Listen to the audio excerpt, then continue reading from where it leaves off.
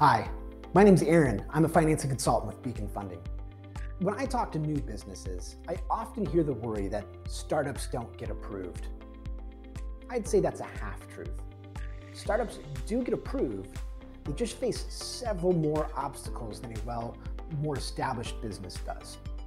First, let's take a step back and define startup. The equipment financing industry defines a startup as a business sole prop, LLC, corporation, etc., with less than two years since they registered with the state they operate in.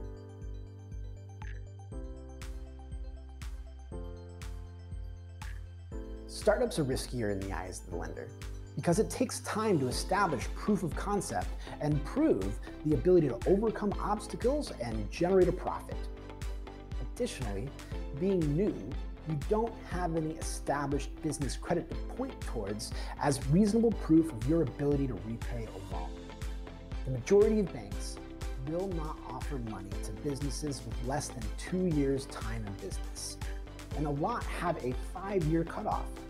That's due to the fact provided by the US Bureau of Labor Statistics that 20% of new businesses fail within the first two years, and 45 within the first five. With all that being said, there are other options other than your bank. These options will take into consideration more information to have a more informed credit decision. These primarily revolve around personal financial statements, personal credit history, and the asset being financed.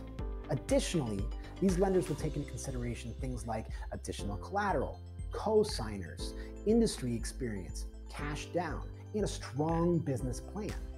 The more areas of strength that you can provide, the better chances you are for approval and even a more competitive terms.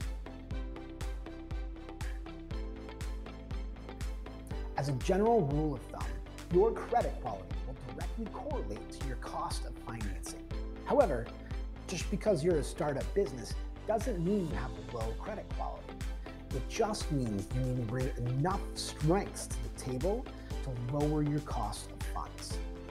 Over time, you can expect your cost of funds to decrease as you've been in business for a longer period and establish things like good paying business credit history and a higher cash flow.